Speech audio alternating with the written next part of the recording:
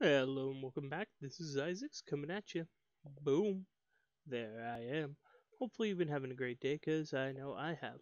So one thing is when I logged in today, I was actually out of power. And um, I believe it's because I had my builders running. But yeah, you can see I had to like jump start the reactor and yeah, it just it wasn't fun. Um, but I did get that rolling again so that we don't have any issues with power because this holds 320 and I was out completely.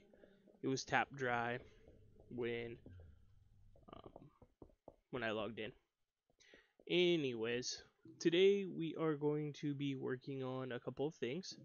So we need this dragon bone bowl, bow, boom. We need some dragon meals. I don't know how many dragon meals we need. Oh. 16.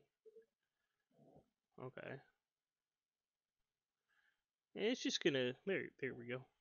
Just gonna consume my food, but that's perfectly fine. And then we need a dragon command staff. I've already made one of those. I don't know. Did I put it in here? Yeah, there it is. That could go back in there. Alrighty. Let's go ahead and collect that. That's just some some money. Eh, steal. Okay, chef toque. It's pretty cool. Alright. So in here, we still need to obtain a hippogriff egg, which I am struggling to do that because uh, typically, let's see if we can do it on camera. We make this rabbit stew. Alright. Uh, we're gonna bounce up here, and we feed these guys. So, uh, yep, yep, nope, nope, nope, nope, nope. Oh well, that one's gone. Oh no, there we go. We feed them, and like they get the heart particles. Oh, oh, oh! We finally got one. Nice. Okay. So next quest is to tame this thing. Um, soar through the dense jungle and can be tackled and counted.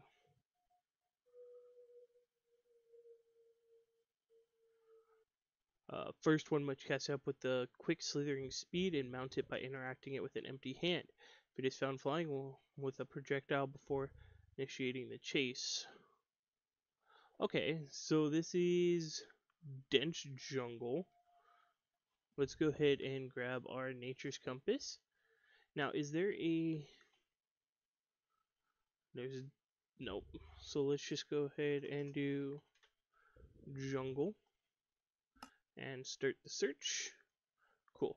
So let me go ahead and jump over to the jungle and I'll be back in a second. So just exploring out here, I actually found this um, this jungle temple. So kind of neat. Uh, building scepter. I'll take the diamond. Actually, I don't need manuscripts anymore. Oh, hi.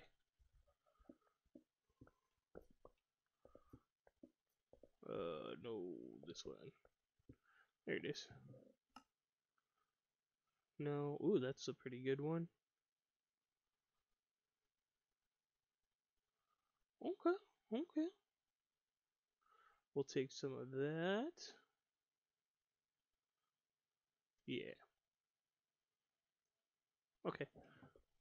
Magic writing. Create a magic spell. I'm still looking for this um, Ampa thingy, the serpent thing. Uh, I'm not having any luck, mainly because, well, the forest is a little hard to see through. But I am navigating it, trying to find it. Hey, look, there's a cat over here. I'm trying to use, like, the mini map to give me an advantage. But it just seems like there's so many uh like just different type of creatures spawning here that it's just really hard for the creature I need to spawn. So I am looking. Give me a minute and I will uh, see if I can find it. Hey look guys, an advanced vampire. Quest complete. And that's for our bounty over here. I also saw a troll. Um, I didn't think to... I think that's down here. Yeah, a troll. Um, I actually forgot to record that one. But I am still looking for that Ampa Fear thing.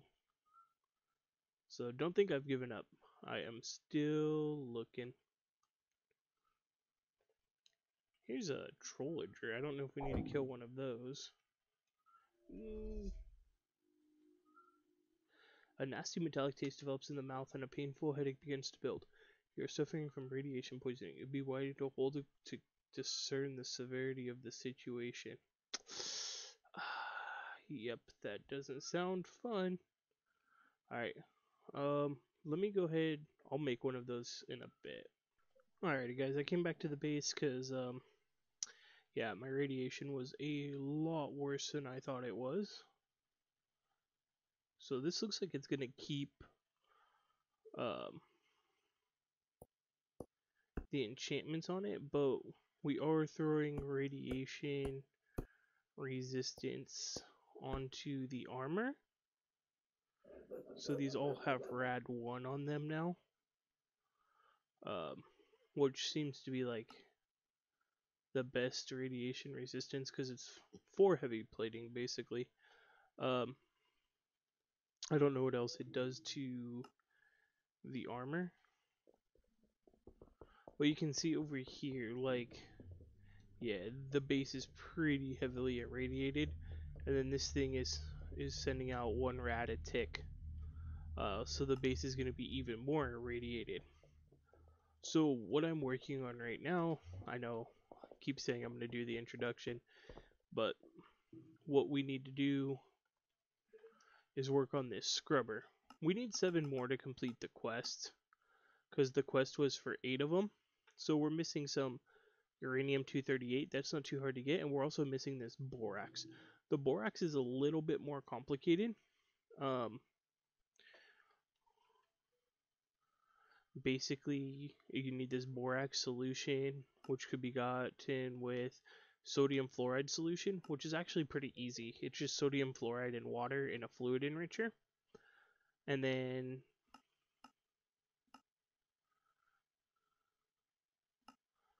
Uh, this boric acid is a little bit more involved. So that's water with diborane, which is hydrogen and molten boron.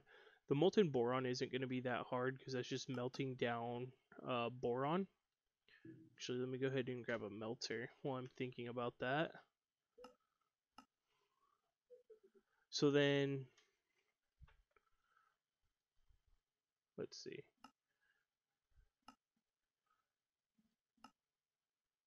Uh, the hydrogen shouldn't be too hard to get either, because that's, um,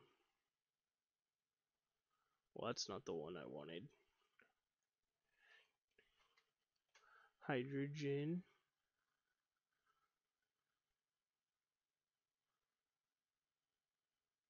Liquid hydrogen. Because we're actually, we're actually making hydrogen over here. Uh, that one's oxygen. That one's hydrogen. So I'll probably just pull off of this for that. But let me go ahead and finish making these scrubbers. I don't think... Oh yeah, yeah, the scrubbers are right here. So we are working towards what we need. So give me one second. Alrighty guys, so I have the borax solution being made. So the way this works is that I have this melter melting boron and then this fluid enricher making this sodium fluoride. They're both manual, so I have to come over here and put stuff in them. Uh, the boron mixes with some liquid hydrogen, which I have coming in from this rotary concentrator, which is pulled from this setup I have over here to run um, these machines. So then that pulls the hydrogen, and then the molten boron from here comes into here. This makes diborane, which comes into here with water to make the boric acid. Then the boric acid mixes with the sodium fluoride uh, to make uh, it makes an acid, hydro yeah hydrofluoric acid, and then it makes this borax solution. I have a fluid trash can down here with hydrofluoric acid and hydrogen because hydrogen is a byproduct of this reaction. And then we have our borax being made right there. So it is, as I said, like a little bit of a manual process because for the sodium fluoride, I still do have to make this sodium fluoride, which just is this uh, crushed villiaumite, which I have down here. And then I just basically take this and then I have like a, I'll set up like a manufacturer right here. So I have the isotope separator there for now. Uh, but like I'll take, I don't need any of that stuff. I'll take like the manufactory and then I'll just switch these out. So I put 2020, put that in there, and this goes and makes the sodium fluoride really quickly. So I think for those scrubbers, you we need to make seven of them. So we need 28 borax. So let me go ahead and get that 28 borax up and running and I'll be right back. Oh yeah, I forgot to show you guys back here. So I have actually the lasers. I have the energy laser and the fluid laser. The energy laser just has a connection point there and then goes to there. And then the fluid laser comes from here. And then that's how I'm getting these guys water and power, so I didn't have to run like I have the XNet cables. I just I didn't feel like running it. I wanted to try something different. So that's how those are run over here. So let me go ahead and grab this borax because we should now be able to finish our scrubbers. And let's start those up. This is going to go ahead and take a minute, so uh, I'm going to let this run. I'll be right back. Alrighty guys, we have all eight of our scrubbers. Reduces the chunk is placed in is dependent on the amount of free space around it. Requires 25 RF a tick to run. Cool, so I did need to know about the RF Okay, cool. I think, well, oops, while holding it, it shows the chunk boundaries, it looks like. Yeah. So what if I do something like...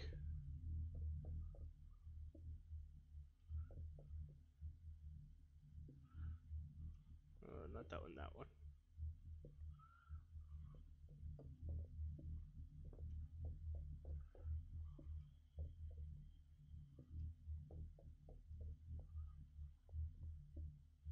Cool. What if I do something like that? And then I want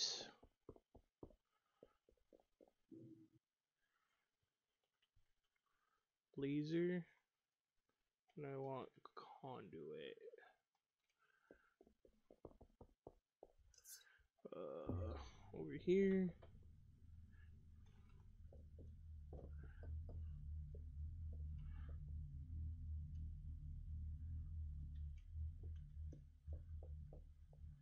Let's move you over one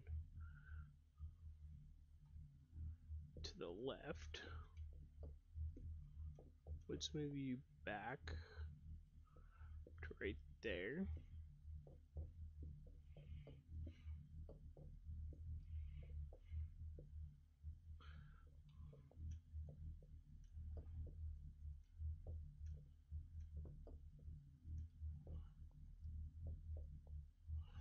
Alright. Um, let's do something like that. Actually, I want that in there. Minus 4 rads, minus 6, 5. Ooh, he's taking out 128 a tick. Alright, 143, 126, and 5. Cool. So that should take care of all the rads in our base over time. And again, we really shouldn't have to worry because we have 4 rad resistance here and if I remember correctly, this is only giving out like one rad a tick. So between these things, yeah, see, look at we're at like 189, 177. So they they should take care of that um, over time. And then this is already producing what? 800,000 RF. That's 99% efficiency. Yeah, so we're gaining over here. And then I did slow down the rate at which we are getting um, diamonds by a lot. Actually, this might even be done running. I'm not 100% sure. I haven't checked it out. But yeah, as you can see here, we're at 3,000 or sorry, 3 million diamonds. Oh yeah, that's going to be a ton of money. Uh, basically, to get us anything we need in the game. So it's not something I'm worrying about this. Um, what I do need though is to finish up this chapter so that we can unlock Fluxbore. Ooh. Not like I already have one of those. Alright. We killed the uh, advanced vampire. Those swarmers are like really nothing. That was all like nothing. Eh. Some pretty bad rewards.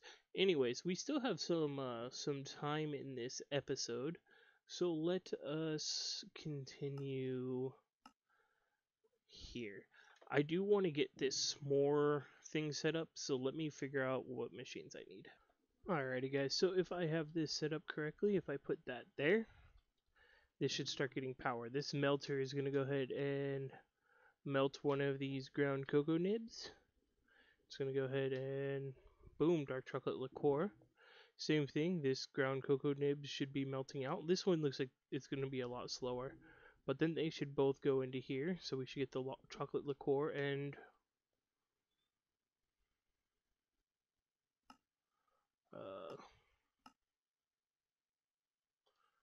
let's do that because this should be this should be the only one coming out. Nope, nope, nope, nope, nope, nope. I did that backwards.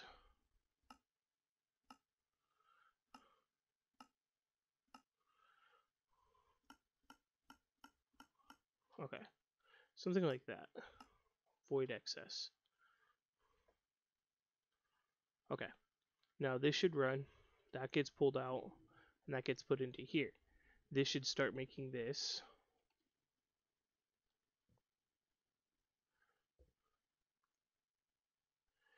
Uh, extract. Always active.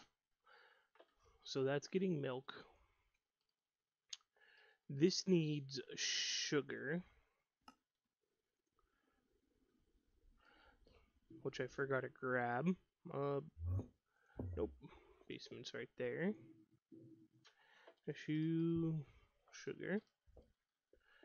We're going to more some more. Alright. So this melter needs this. So this should come into here. This molten unsweetened chocolate from here should be extracted on brown and to put into here.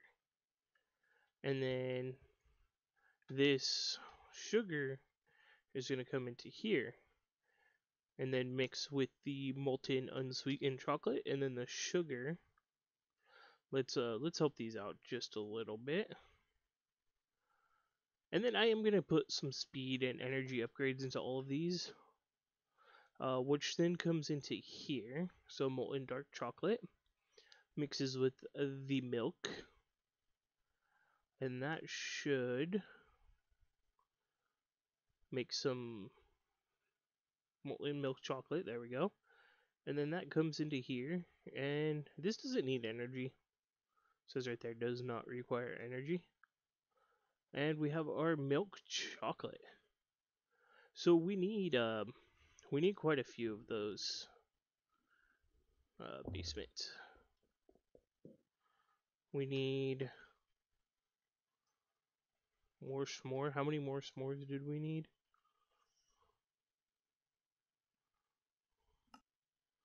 We need 32.